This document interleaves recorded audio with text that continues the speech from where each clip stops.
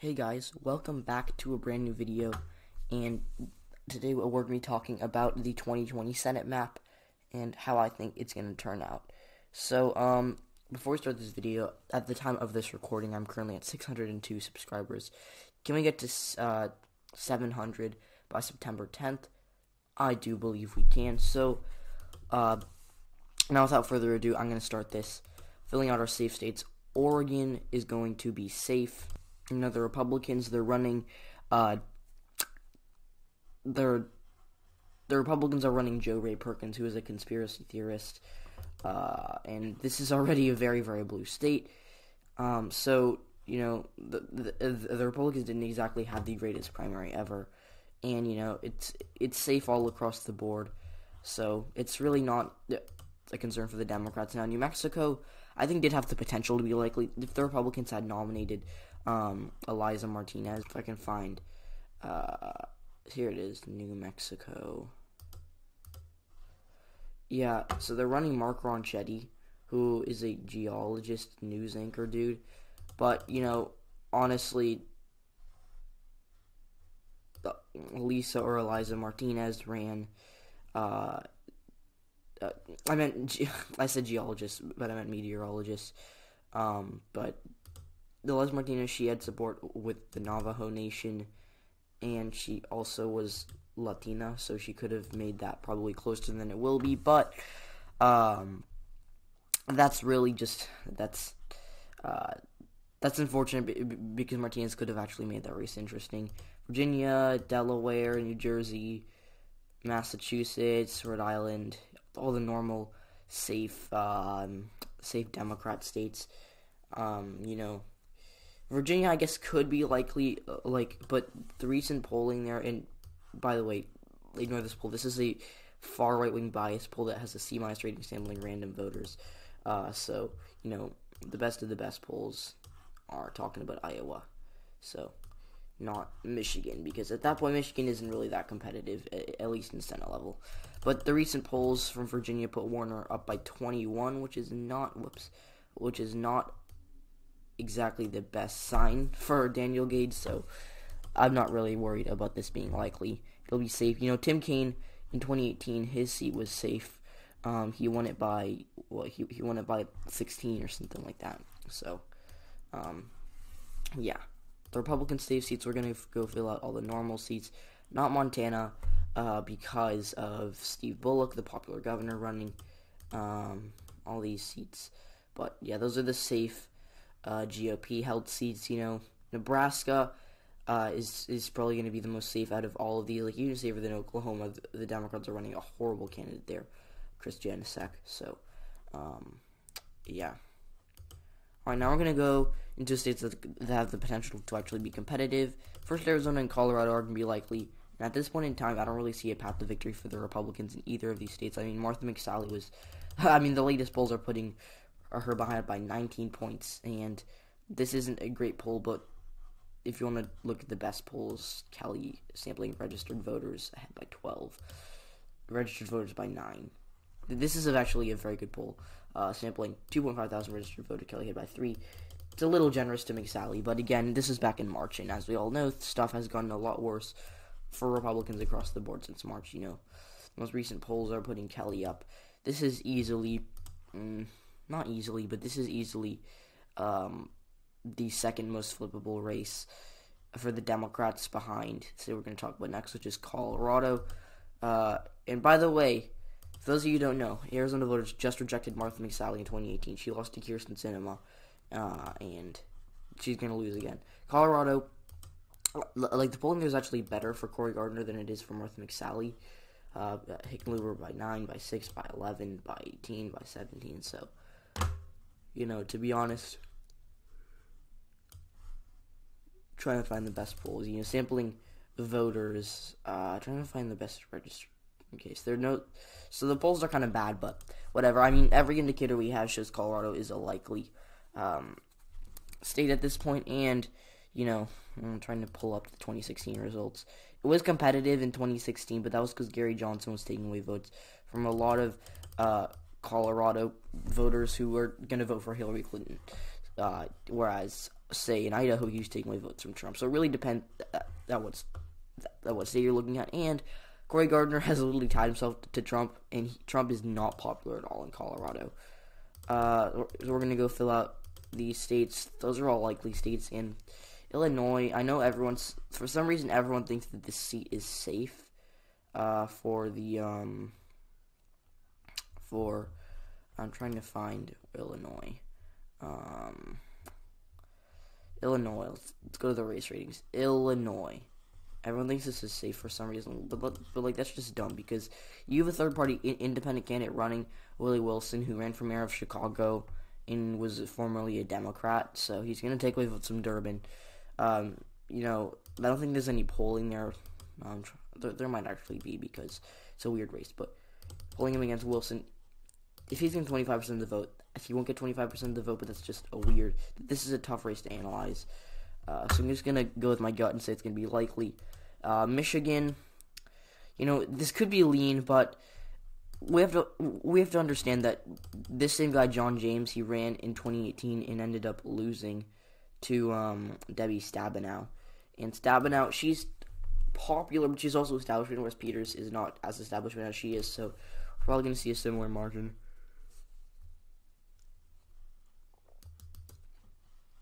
I mean, look at the polls that are sampling registered voters. They're putting Peters ahead. Like every single poll has put Peters ahead, except for uh, the, the, the far right wing poll.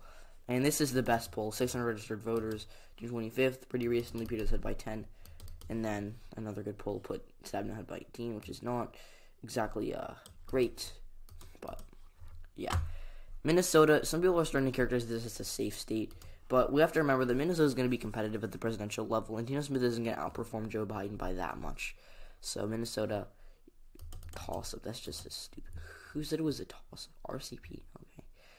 Minnesota's not a toss up, but um, you know, it it's a likely state at this point in time. All right, now we're gonna go over to our likely Republican states, starting with Alaska. And I used to characterize this as lean, but I've kind of lost a lot of hope that Al Gross can flip this seat. I mean, the recent polling, uh, they started polling Alaska. They put him ahead by five, and they put uh, him ahead by 13. This is a better poll, so it's so, still somewhat competitive. And I understand, like, Al Gross has a lot of going for him. He's an independent. Uh, Alaskans are fired up, like thousands of tens of thousands of the Senate position to recall GOP Governor Mike Dunleavy they're going to turn out against Sullivan. This could be lean, but I'm going to give it uh, to, to, them by a likely margin to Sullivan. Uh, next is Kansas, and Roger Marshall's the the GOP nominee. He beat Kobach and Bob Hamilton. Hamilton really didn't have a chance. It was either going to be Kobach or Marshall. I, I was wrong. I did a live stream for that. I was very shocked when Kobach didn't win. I really, really thought uh, that he was going to be the nominee and that he was going to end up choking the seat and losing to Barbara Bollier. I mean, Bollier is this, is a very strong candidate. She's a former former Republican. She's a uh, very centrist. Um, and it would have been cool to see how she voted in the Senate. Maybe sometimes voting with the GOP, sometimes with the Democrats. Maybe maybe like a better Susan Collins because Susan Collins isn't really that independent anymore. But yeah. Now Roger Marshall is gonna probably win by 11 points, just barely making it likely. So just because of how strong Bollier is, I'll I'll give her the benefit of the doubt and say that that she'll make this closer than it should be in, in Kansas. Plus the fact that that the Democrats ran independent 2014 against Pat Roberts and lost it by a likely margin. So Kansas, you know, I'm gonna say it's likely. All right, now we're gonna go over to Texas, uh, where the polls are not good for MJ Hegar. I mean, no res- no disrespect to MJ Hegar, but she's no better at O'Rourke and she's not going to be able to win this race. I mean, Beto O'Rourke, he visited every. Why are they pulling Texas so much? Um, but you know, he visited every single county, and oh, here's a good poll: two point four thousand registered voters. Yeah, that's probably how much Cornyn's going to win by. I, I mean, they he went to every single county. MJ Hegar, it's going to be hard to do in, uh, in, in in the times of the coronavirus. So. I understand John Cornyn is a Republican and the Republicans are losing support nationwide, but he's still going to win in Texas. I mean, he's pretty popular there. So, um, yeah. And I'm going to fill out the rest of the South. Well, not the rest of the South. Uh, also, I forgot to fill out uh, West Virginia as a safe state. Paula Jean Swearengin, um, I think she's a she's a good. I'm forgetting so much today. New Hampshire should be likely. Not much to say about that. Uh, but Paula Jean Swearengin, I think she's a good candidate. Uh, I I do trust Paula Jean Swearengin. I, I think it'd be cool to see her be a senator from West Virginia, but um, she's a progressive in a place where they only or if the Democrats win, they only elect conservative Democrats. For example, uh, maybe someone like Joe Manchin or Jim Justice ran as a conservative Democrat. He won. So now Mississippi and Alabama. Mississippi just gonna be likely because of the margins being weird. Um, Mike Espy is a pretty strong candidate. I mean, he served in the Clinton administration. He has a big name. Um, but the most recent poll puts Hyde-Smith ahead by five. And let's see what the best polls say. Uh, whoa, okay. Alright, those are back from 2018. So, whatever. Espy came close in 2018. He it like a likely mark six. I think he lost by eight points or something like that, maybe six points. But I think he'll lose by a bit more, something like ten points this time around. I mean, Cindy Hyde-Smith's the incumbent. She's not too popular, but she's not unpopular enough to make this a toss-up race.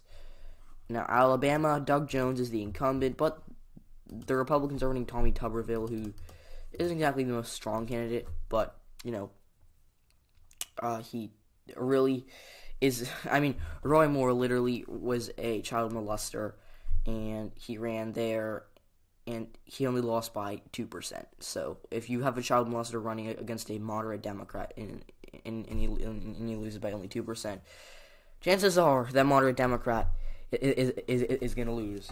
Uh, the next time he's up for election. So, unfortunately for Doug Jones, he's gonna lose. Um, Georgia special. I mean, this is just Democrats are just their hopes are fading in Georgia. I mean, special election trying to find. I mean, also has a chance, but Loeffler by nine, Perdue by three, Loeffler by four, Collins by four, uh, Loeffler, Collins. I mean, this special election is, is, like formatted against the Democrats. So, I mean, running Raphael Warnock, I mean, they could have run Stacey Abrams and just tried to just make her get 50% of the vote, although it's unlikely. So, they're doing a really bad job in the special election. So, whoa, okay. I, didn't, I don't know how I did that, but I guess that's good because it zooms in on the map. So, alright. so, I got a new mouse, and that's probably why. I don't understand all the functions, but whatever. So, okay, I, I mean, I guess this works. But South Carolina, I mean, Harrison. People are starting to, to call this a toss-up race. I don't really believe that. I mean, uh, we're it was RCP who, apparently loves to give toss-ups to not toss-up races in 270 to win. So, I mean, I don't. I, I don't. Ex- I mean, they give Arizona toss up. They gave Colorado a toss up. They gave Georgia a toss up. Iowa a toss up. Maine a toss up. Michigan, like, they're just being lazy at this point. I mean, what's the point of of saying that you're a characterization firm when you're just gonna say everyone's a toss up? Mm, and they have, and I'm honestly surprised that they don't have um, Texas as a toss up at this point. Whatever. So South Carolina I got kind of sidetracked there from saying toss up too much. But South Carolina, um, the recent polling puts Graham ahead by three, by one, by four, by two, by seven. He, he's not exactly that popular, kind of like Ted Cruz, but the best poll is back in February, but the best poll put him ahead by 17. He's not going to win by 17, but he's going to win by something like eight, maybe seven points if Harrison does a good job. And he's doing a good job so far. I, I mean, like, I'm getting Harrison ads, and he's making it all about beating Lindsey Graham, which is, I think, a good campaign tactic. I mean, Beto did the same thing to Ted Cruz, and he came close in a red state. So, yeah. The last likely Republican state I'm going to fill out is Kentucky, where Mitch McConnell. Uh, he's not too popular there. I mean, he's actually the second most unpopular senator in the United States of America, but um, he's still, uh, he's still a a big name around there, and they're going to say McConnell. I guess they'll vote for him against a Democrat challenger. And Amy McGrath, she's a good candidate. I mean, she's not bad, but she's not exactly the best you can run. I mean, if they ran someone like, I don't know, maybe Andy Beshear or Rocky Adkins, they could have won that seat. But I don't think that they are. And Kentucky voters they don't like they don't like McConnell, but they're gonna vote down ballot and say, okay, I guess okay, I guess I'm gonna vote for McConnell. We're gonna do our lean Democrat states now, which are which is Maine, and at this point, Maine Maine could be tilt or likely. I really don't know. This is gonna be a weird race for sure, but Gideon had by five, by five, by eight, and the best polls are literally okay. There are no, but the best polls sampling, you know, a decent amount, not great, pretty recently, but Gideon had by five, and that's and I think she'll win by that much. And registered voter voter polls putting Gideon ahead by eight, by seven, by four. So I understand that Collins has won election many times before, but look, she is she, she went from the most popular senator in the United States to, to the most unpopular in a span of a couple years. That says a lot about her and, and, how, and how quick she's losing support. I mean, she really is, is not in a good position for re-election right now, and I would not be surprised if you know the Republicans don't turn out for her, the Independents go for Gideon, and the Democrats turn out against her. And this is already this is all going on in a blue state, so this is not exactly looking up, looking for looking like good news for Gideon. And and again, Maine is a is a down ballot state. Montana is not a down ballot state, for example. Maine is, and that's why I'm so confident that she's going to lose. And putting the Democrats at 50 seats is the state of North Carolina, which is at this point a lean seat. I used to say that, uh, that this is going to be the closest Senate race in 2020, but at this point in time, Cal Cunningham is absolutely crushing Thom Tillis. I mean, the most recent polls have 10, 8, 9, 5, 3. I mean, I mean, he, like Joe Biden, he's running ahead of Joe Biden. And the best poll sampling registered voters, Cunningham plus 9. And I would not be surprised if this on election night, Cunningham wins by like 6 and just slips into likely column. That would be weird. But I'm going to say that Collins, what did I just say Collins? That Tillis is on the path to defeat by 3 4 points. And you know, the Democrats they won the governor's race there in 2016, and they've didn't have a Senate race there in 2018. But you know, I'm confident that Cunningham's going to win this. I'm going over to our lean GOP states. I'm only going to give them one, and that's the state of Georgia, the normal election. Um, but you know, Ossoff is recently has recently been ahead by two, and tied. So the best polls. Uh, try to look at what uh, um, what the best polls are saying. Uh, they're putting Perdue ahead by six, and again, this is uh, sampling registered voters. Not too many, but they're putting Perdue ahead by six. I think it'll be something like four points for him. Ossoff is a very strong campaigner. He has a good political future. I think sh- that if Stacey Abrams doesn't run for governor of Georgia in 2022, Ossoff should be next in line for the Democrats. He, he'd be the second pick to run. I mean, he ran for the spe- he ran in the special election for the seventh, sixth congressional district back in 2018 against um, Karen Handley and that, that would have been a solid red district before. He was the one who made it competitive instead of losing Bass win in 2018. So, um, formerly a solidly GOP district became a toss-up district because of Jon Ossoff. And I'm gonna give one more state to the Democrats, and that's a tilt Montana. And the recent polls in Montana have actually been pretty bad for Steve Bullock, who is the popular governor. I mean, Dan's head by six, by three, and again, this is a pretty good poll. So why do I not trust it?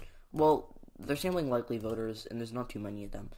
Um, plus, plus generally, Daines is uh, behind Trump, and again, Trump, when he's that unpopular in Montana, I mean, this this should not even be competitive. And I get to see Bullock is running, but under normal circumstances, even uh, like Montana, it would be a tilt or lean GOP state. Why? Because D. Bullock is so popular, he handled the coronavirus very well, according to the people of Montana, and I speak with a lot of people from Montana, and they're saying that Bullock's going to win. He has a lot of Republican support. I mean, like that's why he won two governor's races there on the same ballot that Mitt Romney and Donald Trump carried his state by 20 points. So people saying that he doesn't have a chance because it's a presidential election year are wrong. And coincidentally, those same people who are saying Steve Bullock doesn't have a chance are giving Gideon or are giving Collins the win in Maine, even though Maine is a down ballot state, whereas Montana is not. Uh, also, remember Jon Tester? He ran he, he, right after he, he voted to confirm Brett Kavanaugh literally a month before the election and still won by a lean margin. So saying I'm generous to Bullock is just a lie because I will admit I think it'll be cool to see Bullock in the Senate, but uh, when we look at the results and all this, Montana has been this is a safe seat for the Republicans. Then it became a lean seat. Now it's a toss up. Uh, so yeah, the last seat I'm going to characterize probably the most toss up toss up seat of them all is Iowa with Joni Ernst. Not too popular. I think she's the fourth most unpopular senator in the U.S. Senate, facing off against Theresa Greenfield. Now Iowa, the polling does put Theresa Greenfield ahead by three, by two, by four, and the best polls put Ernst ahead. But um, you know, these are all. I mean, this poll was not as recent, but sampling more voters, so you can weight them however you want. but the most recent polling, sampling registered voters and a thousand likely voters, so you're getting the same result, putting Greenfield ahead. And I understand that that uh, the that Greenfield is a decent candidate. I, I mean, she's not the best. I think that if they really wanted to win, they should have ran Fred Hubbell, for example. He did very good in the governor's race, even though he lost. I think uh, he's running against an incumbent popular Republican governor. So, yeah, um, but I'm gonna give Ernst the edge because polls in Iowa do tend to, uh, to underestimate GOP support there.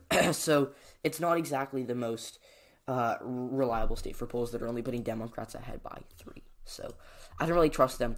Also, we have to remember that the Democrats, I know they won the House, House vote there, but they lost the governor's race, and that could be more significant than the Senate race. Could also be than the House races. It could could also be less significant. We don't know yet, but I do, from the bottom of my heart, think that Joni Ernst is going to win re-election, just barely edging it out over Theresa Greenfield.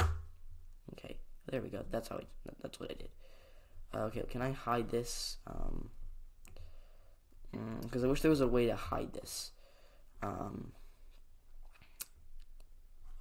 that's what it is. Alright guys, so thanks for watching this video. Be sure to like and subscribe to my channel. Again, we're currently at 602 subscribers. So, can we get to 700 before September 10th? I think we can. Uh, also, if you would like to donate to my Patreon, there are perks you can get for doing that. And be sure to follow Instagram. I think we're almost at 60 followers. Uh, so that would be much appreciated if you did that. So, see you all in the next video.